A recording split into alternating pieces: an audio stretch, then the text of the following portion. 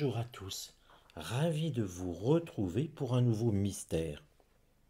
Ce mystère, je l'ai appelé la musique sur la Lune.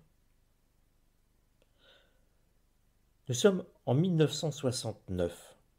Les astronautes à bord du vaisseau spatial Apollo 10 passèrent à proximité de la partie ombragée de la Lune, s'éloignant plus de la Terre que n'importe qui avant eux. Ils étaient à plus de 350 000 kilomètres de chez eux et enveloppés par le sombre silence de l'espace.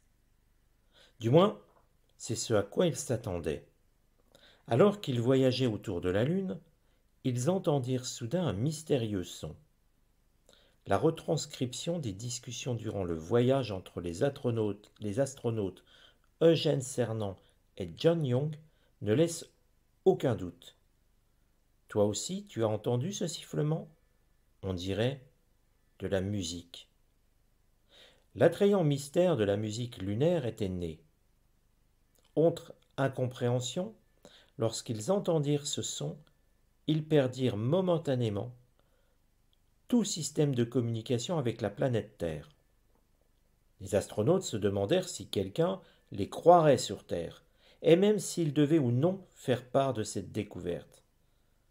Ce qui jeta de l'huile sur le feu, c'est que les retranscriptions classifiées furent scellées pendant quarante années, laissant penser qu'il y avait quelque chose à cacher. L'équipe de trois hommes n'en parla jamais publiquement.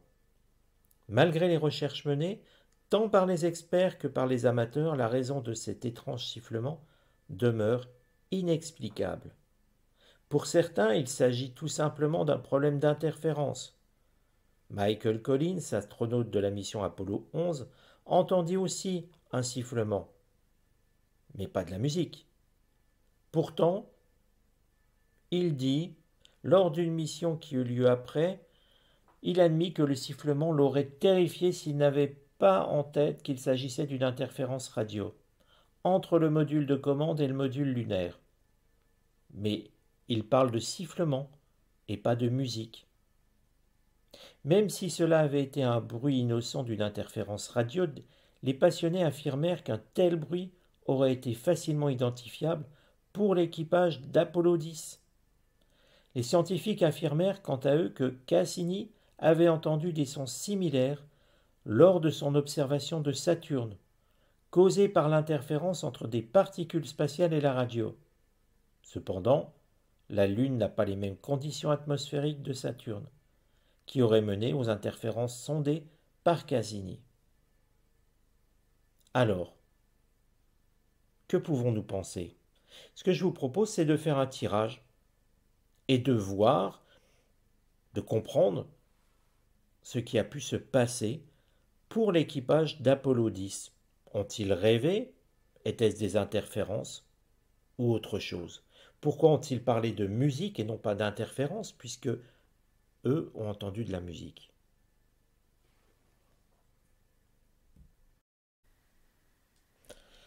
Alors on peut se demander qu'est-ce qu'a pu entendre cet équipage d'Apollo 10 Et c'est ce que je vais demander aux runes.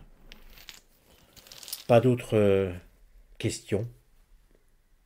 En fait, on va demander tout simplement aux runes quel est ce bruit, quelle est cette musique qu'a entendu l'équipage d'Apollo 10. Alors, même technique qu'habituellement, je retire les runes qui se sont cachées. Alors ici, petit monticule de runes. on regarde, celle-ci était cachée, celle-ci était en ligne droite. Alors j'essaie d'observer, je vous dirais que là, je vois une belle ligne droite. Et deux axes sur les côtés. On a l'impression d'une fusée qui monte vers le ciel et deux choses qui se viennent sur les côtés. Regardez la similitude des deux runes, presque des V à chaque fois. On a l'impression finalement que Hein, vous savez que ces fusées ressemblaient presque à un trait, hein, on pourrait presque imaginer la fusée. Et quand on regarde, on aurait l'impression que bah, finalement il y avait deux choses qui venaient en approche, de chaque côté, de part et d'autre. À moins que un des axes soit le tour de la Lune. Vous savez que puisque Apollo 10 faisait le tour de la Lune, en tout cas, il y a bien quelque chose qui s'est approché à un moment. Deux vaisseaux qui venaient s'approcher de cette fusée qui faisait le tour de la Lune. Je vais rester sur cette idée-là. En tout cas, c'est ce que j'y vois. Dites-moi vous ce que vous voyez. Moi, pour moi, c'est la Lune ici. La fusée qui fait le tour. Tout ça est caché. Et deux objets qui viennent. Pas un seul, deux objets. Mais on va interpréter le tirage. Et on va regarder un petit peu ce que les runes nous transmettent. Alors je commence directement par Kenaz. Kenaz, c'est cette rune ici. Kenaz nous montre une aptitude à manipuler les énergies sur plusieurs plans. Kenaz, c'est l'idée de quelque chose au travail. Alors quand on le remet dans le contexte du tirage, parce qu'il faut toujours faire ça, hein, que, vous soyez avec un support, les cartes, les runes ou ce que vous voulez, les de café, pourquoi pas, euh, tout peut servir pour la voyance. Mais il faut toujours remettre avec, en parallèle, la question. Et là, quand on regarde, eh bien, on a l'impression d'une énergie qui voyage, qui manipule l'énergie. On a l'impression d'un voyageur, de, euh, peut-être d'un vaisseau, pas très gros. Je n'ai pas le sentiment que ça soit quelque chose de très gros, mais qui se déplace de plan en plan. Alors on parle souvent de voyage à longue distance, mais il semblerait que d'autres plans d'existence existent. Cela a déjà été euh, largement documenté hein, à travers des ouvrages de science-fiction, des recherches aussi. Et puis manipuler les plans, c'est pas forcément sauter de dimension en dimension. Vous savez qu'il y a une théorie qui consiste à dire que l'on peut replier l'espace pour voyager plus vite. Alors tout ça, c'est des théories extrêmement compliquées, mais qui permettraient de faire de voyager, eh bien oui, de plan en plan. Si on se fie à, ça, on a presque l'impression que ils étaient là soit en mission d'étude, en tout cas pour Kenaz, soit une mission d'étude, soit une mission d'observation. Euh, ça ne nous dit pas s'ils observaient cette fusée ou s'ils observaient la Lune. Mais en tout cas, c'est l'idée de travail. Et quand on est astronaute, quand on est voyageur de l'espace, le travail, c'est l'observation. Ou la guerre.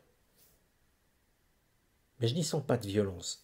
Sincèrement, je ne sens pas de violence. J'aurais plutôt tendance à dire un, un, vaisseau, voyageur dans un vaisseau euh, qui venait observer.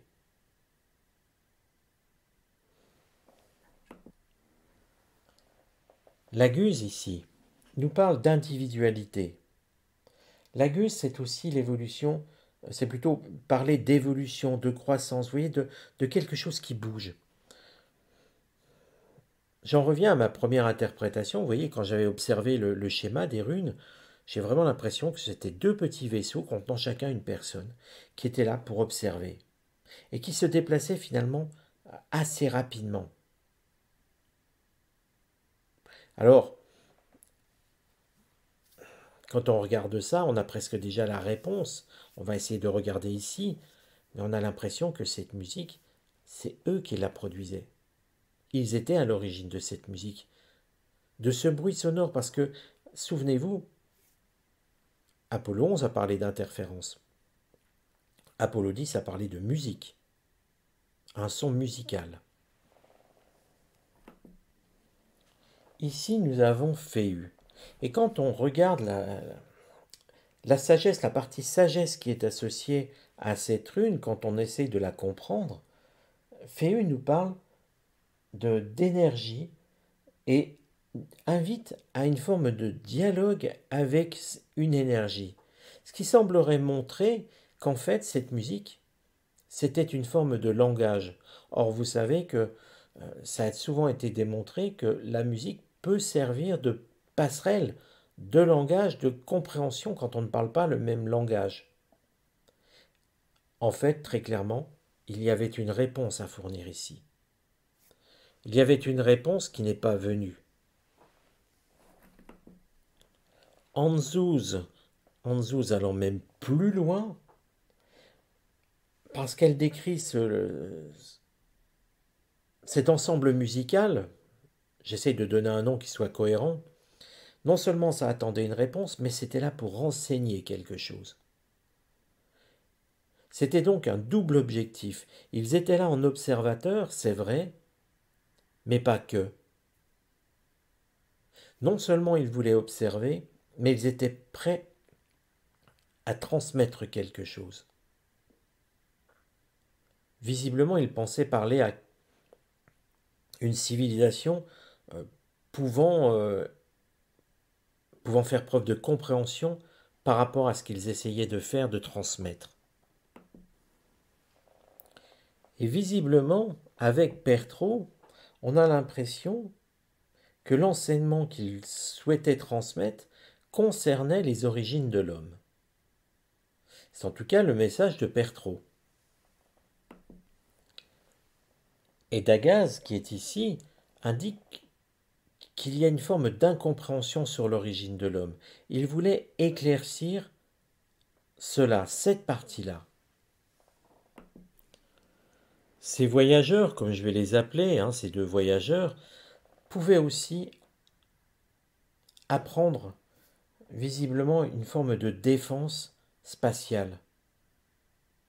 Alors s'ils voulaient apprendre une défense spatiale, quelque part, c'était aussi, on peut le comprendre comme ça, s'il y a, s'il y a à se défendre, c'est qu'il y a risque d'attaque. Serait-ce pour démontrer, était-ce pour démontrer finalement qu'un jour la Terre pouvait être attaquée et qu'ils avaient les moyens de nous enseigner, pour, nous, pour nous défendre, de construire quelque chose qui nous aurait permis de nous défendre. et qu'au final, tout ce qu'ils avaient à nous transmettre aurait généré une forme de restructuration sur l'humanité. Sur C'est le sens d'Agalas qui est ici. Donc là, tout ce que je vous ai décrit ici, finalement, c'était un enseignement, un enseignement de vie sur nos origines, sur euh, notre civilisation, un enseignement de vie aussi sur comment nous défendre, de futurs agresseurs qui pourraient un jour venir. C'est presque finalement aussi quelque chose qui allait remettre totalement en cause, ou totalement en question plutôt, euh, ce que nous savons de l'humanité. On nous dit souvent, souvent on vient des, euh, d'organismes microcellulaires. Oui, mais il y a quand même quelque chose qui, qui viendrait démontrer que c'est pas tout à fait ça. C'est pas aussi simple et ça remettrait totalement en cause la théorie officielle. Alors me direz-vous, ce n'est pas la première fois. Mais regardons ces deux dernières runes ici. Gébo vient presque agir comme un conseil, en disant qu'il fallait créer une relation, et qu'il ne fallait pas refuser la communication. Alors c'est vrai, ils ne l'ont pas refusée, ils l'ont simplement pas comprise. Mais l'idée était qu'il fallait répondre et qu'il fallait établir un lien, une relation avec un sous-entendu implicite. Cela pourrait servir plus tard. Cette civilisation donc était extrêmement avancée et avait beaucoup apporté à l'humanité. Et Ingvaz nous montre finalement et bien que ça n'a pas pris, mais ça on le savait déjà, et que ça va être une période finalement assez longue avant de pouvoir renouer une forme de tentative de communication entre eux, qui seront à l'origine et nous.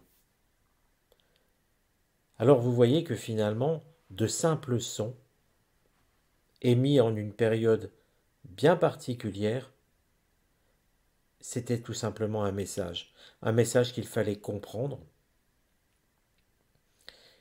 et qui n'est pas prêt de se représenter. Il faudra encore du temps, du temps pour que une autre tentative de communication puisse se faire. Ce qui semble démontrer aussi finalement eh bien, que ces êtres qui étaient là-dedans venaient vraisemblablement de loin, d'une grande distance, ou qu'ils n'explorent pas ce côté de la galaxie très fréquemment. Tout est possible. Le tirage n'en parle pas. Le tirage s'attarde beaucoup à démontrer, à montrer ce qu'ils avaient à enseigner. Et qui étaient-ils? Eh bien, si ce tirage à propos des musiques d'Apollo 10 vous a intéressé, n'hésitez pas à le partager, n'hésitez pas à vous abonner, bien sûr, et puis euh, à liker la vidéo. Je vous donne rendez-vous à très bientôt pour un nouveau mystère.